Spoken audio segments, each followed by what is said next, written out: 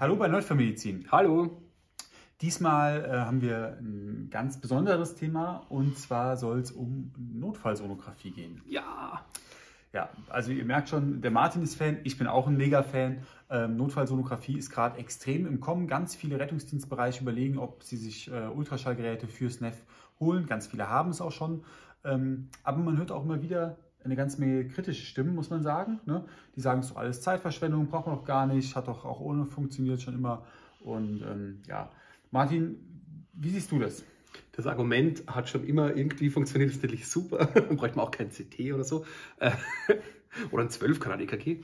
Ähm, grundsätzlich kann man sagen, ähm, die Gefahr bei Ultraschall, nachdem die Anwendung so ins Detail gehen kann und so viele Spezialuntersuchungen sind, ist natürlich, dass man da rumspielt, dass man Zeit verliert, dass man äh, gern irgendwie die Aortenklappe ausmessen möchte, aber der Patient äh, irgendwie Nachteile hat. Ähm, deshalb ist ja zum Beispiel auch bei den neuen Reanimationsleitlinien der Ultraschall in der Wertigkeit so ein bisschen kritischer gesehen, äh, weil man sagt, diese langen Pausen, um irgendwie eine äh, tollen, tollen Einstellung vom Herz zu bekommen, die sind vielleicht sogar eher nachteilig, als dass der Ultraschall was bringt. Das heißt, gerade präklinisch gilt übrigens auch für den Schockraum, ähm, Notfallsonographie muss eine von zwei Kategorien, am besten vielleicht sogar beide erfüllen, nämlich erstens braucht es entweder eine Therapiekonsequenz, also ich erwarte mir jetzt was, was mein Management akut verändert, oder zumindest eine Transportkonsequenz. Heißt, ich fahre jetzt vielleicht nicht ins kleine Haus, sondern ins Zentrum, ich biege links ab und nicht rechts ähm, oder ich hole mir einen Hubschrauber, um den jetzt irgendwo anders hinzubringen ähm, oder ich muss ihn vielleicht schneller aus dem LKW rausziehen als, als gedacht.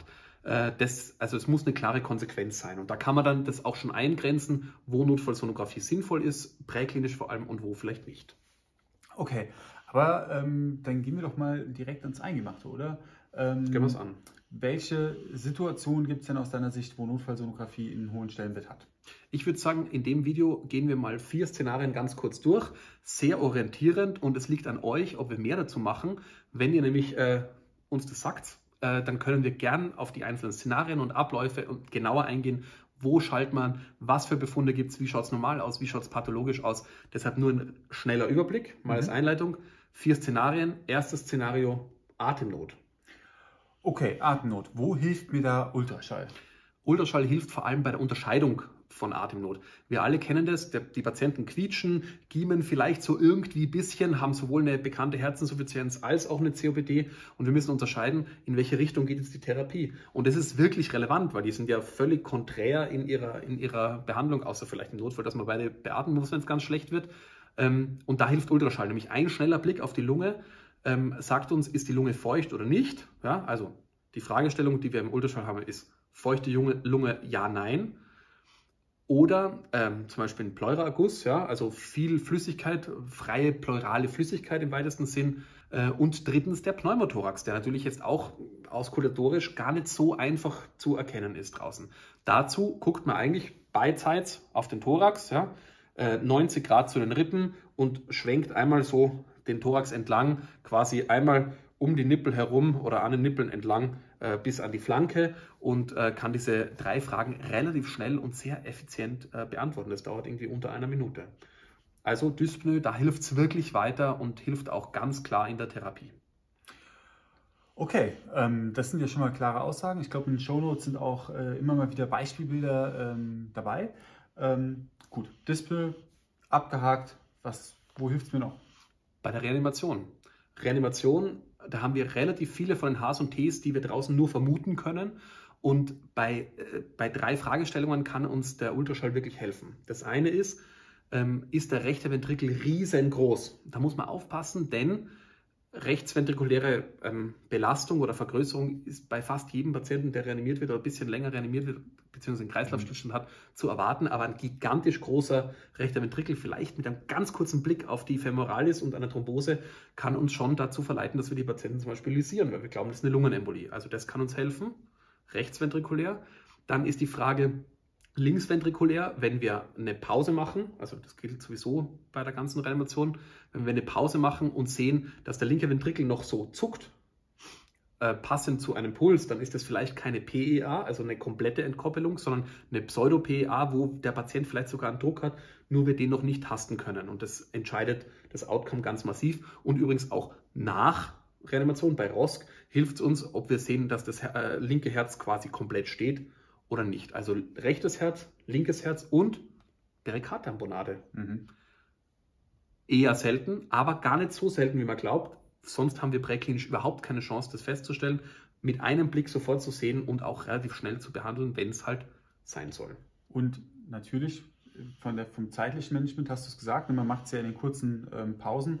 Und wie kurz sind die Pausen so? 10 Sekunden, 30 Sekunden, so lange wie der Ultraschaller braucht? genau, so lange, bis drei Leute draufgeschaut haben. Nee, möglichst kurz. Also da gibt es unterschiedliche Angaben. Persönlich finde ich maximal fünf Sekunden. Und die Person, die den Ultraschall macht, sollte nicht die Person sein, die den, die, die Rhythmuskontrolle macht, sondern man sollte sich vorher absprechen, vorher schon den Ultraschall positionieren, meistens subkostaler Blick, also unter dem, äh, unter dem Sternumrichtung Blick, äh, linke Patientenschulter, ähm, so grob ähm, vielleicht sich vorher schon orientieren, unterm Drücken und dann fünf Sekunden runterzählen. Wenn man perfekt in einem High-Performance-Team ist, dann steht hinter einem jemand und zählt die fünf Sekunden runter und wenn die fünf Sekunden vorbei sind, ist auch vorbei und dann wird weiter gedrückt und jemand anderer macht die Rhythmuskontrolle.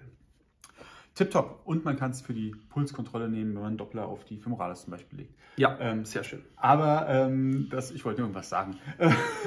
Was ist das nächste Szenario? Wie das nächste weiter? Szenario, das wird häufig ähm, äh, diskutiert und ich finde, das ist auch das schwächste Szenario für prähospitale ähm, Notfallsonographie, ist nämlich das Trauma. Das, was im Schockraum, in jedem Traumaschockraum absoluter Standard ist, ein Fast-Ultraschall, also beidseits, Flanke, über der Blase und vielleicht auch noch ein Blick aufs Herz, ähm, plus eventuell den Pneumothorax ähm, ist was, was präklinisch muss man tatsächlich kritisch sehen, weil ich würde jetzt nicht auf der Autobahn Zeit ver vertun und da fünf Minuten jemanden nochmal schallen oder auch nur zwei Minuten. Ähm, es gibt aber Szenarien, wo das sinnvoll ist. Eventuell zum Beispiel, also am Transport, ja, schaue ich, ist freie Flüssigkeit im Abdomen. Wenn ich die Zeit dazu habe und die anderen Maßnahmen abgeschlossen sind, dann kann diese Information der Klinik schon wirklich was helfen. Heißt, Massiv, Massivtransfusion vorbereiten heißt, ein OP wirklich sperren, das OP-Team waschen lassen und sich bereitstellen, ist ja was anderes, als wenn man nur sagt, ja, ist halt jemand, der hat ein bisschen Bauchtrauma. Ähm, eventuell könnte man auch ein Szenario konstruieren, wo es darum geht, wie schnell man jemanden aus einer Einklemmungssituation rausholt. Ja? Also wie schnell muss man den rausreißen oder hat man Zeit? Das, aber persönlich finde ich das Szenario, dass da jemand, dass ich da hingehe, ins Auto rein, den Schall und dass das wirklich, ich glaube, da verliert man zu viel Zeit. Also Trauma ja, aber wenn, denke ich vor allem am Transport ähm, äh, als Vorinformation für die Klinik. Ja. Ähm. Und da ist die Frage, Entschuldigung, jetzt habe ich gar nicht gesagt, was wir wissen wollen. Wir wollen wissen, freie Flüssigkeit plus ähm, eventuell Pneumothorax äh, plus eventuell Perikardtamponade, aber vor allem freie Flüssigkeit. Okay, gut. Also ähm, Trauma mit einem Fragezeichen, aber auch manchmal im Ausrufezeichen. Ähm, okay, was Gibt es noch? Gibt noch eine Situation, wo wir äh, Notfallsonographie präklinisch brauchen? Das All-in-One-Szenario, wo wir alles, was wir jetzt vorher erwähnt haben, quasi zusammenpacken, ein bisschen erweitern. Die sogenannte Schocksonographie, da gibt es ein Protokoll, das heißt RUSH, ähm, Rapid Ultrasound in Shock und Hypotension, das quasi versucht, relativ schnell beim unklar schockierten Patienten oder Patientin herauszufinden, was die Ursache ist. Also, wir gucken quasi aufs Herz, ja, rechter Ventrikel, linker Ventrikel, Perikardtamponade, wir schauen auf die Lunge, ist die feucht, gibt es einen Pneumothorax, wir schauen aufs Abdomen, ist freie Flüssigkeit beidseits ähm, ähm, oder äh, hinter der Blase zu, äh, zu finden. Und wir schauen auch auf noch zwei Sachen extra, die in den vorherigen Sachen nicht erwähnt worden sind, nämlich wir gucken einmal die Aorta an, also machen einmal einen sogenannten Aortic Slide, klingt auch cool, also rutschen einmal die Aorta runter und schauen, ob ist die irgendwo über 5 cm, also könnte es ein Aortenaneurysma vielleicht mit Perforation oder Ruptur sein. Ähm, und wir gucken einmal auf die Vena cava, die zumindest eine vorsichtige Einschätzung der Volumentoleranz ähm, ermöglicht. Die Volumenstatusbestimmung mit der Cava ist jetzt ein Thema, da könnten wir ungefähr 15 Videos dazu Lassen machen. Wir das weg. Ja, genau. Ist zumindest kritisch äh, zu hinterfragen. Ähm, aber diese zwei Sachen machen wir zusätzlich zu allem anderen. Das wäre ein Szenario, wo jemand wirklich unklar, schockig ist, schlechter Druck, und wir müssen jetzt rausfinden, braucht jetzt ein Zentrum, braucht er vielleicht nur ein kleines Haus oder können wir das irgendwie eingrenzen? Äh, Gibt es da irgendwas, was wir machen können, außer Katecholamine geben oder eben auch nicht? Genau. Martin, das klingt extrem spannend. Ähm, ich bin ja eh ein Sono-Fan, aber für alle von euch, die jetzt sagen, Mensch, also ähm, Sonographie, das klingt ja doch relativ spannend. Wir haben das ja auch so ein bisschen als Testballon ähm, weil wir uns immer wieder überlegt haben, mal was zur Sonographie zu machen. Wenn ihr jetzt sagt, Mensch, super coole Sache, ähm, ihr habt vielleicht sogar spezielle Themen, die ihr gerne ähm, haben wollt, dann schreibt sie uns einfach ne, oder als Kommentar ähm, unter das Video einfach posten. Ähm, dieses Video hier ist nicht geeignet, um äh, irgendwie Solo-Kompetenz zu lernen. Auch die Shownotes sollen nur einen Überblick dazu geben. Ne?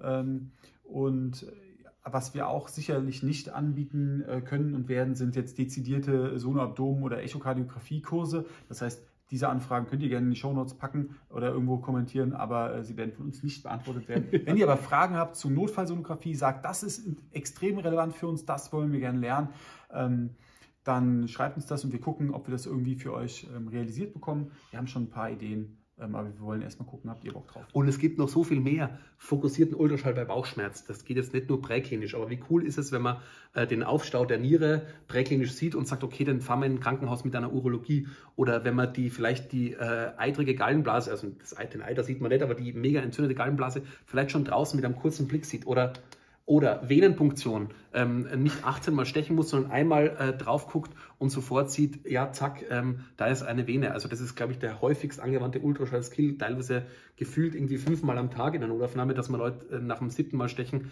eine wunderschöne grüne äh, irgendwo reinlegt und die Patienten einem fast um den Hals fallen. Meistens sind sie ja nicht so fit, dass sie das können. Die ähm, wunderschöne grüne. Und das alles mit nur einem Gerät in diesem Video. und dazu gibt es noch einen Messerblock, ähm, wenn Sie jetzt bestellen. Also, Ihr merkt, wir sind ultra begeistert. Äh, Philipp hat schon dazu was gesagt. Schreibt uns gerne eure Erfahrungen, auch gerade Prähospital. Ähm, einige nutzen das ja schon regelmäßig. Wir sind gespannt, was ihr dazu sagt. Schaut in die Shownotes, da ist noch mega viel Content, ähm, Beispielbilder, pathologische Bilder, Überblicksbilder und mehr Bilder. Ähm, damit, glaube ich, beschließen wir diesen äh, begeisterten äh, Teil zu Ultraschall und äh, sind gespannt. Macht's gut, bis bald. Ciao.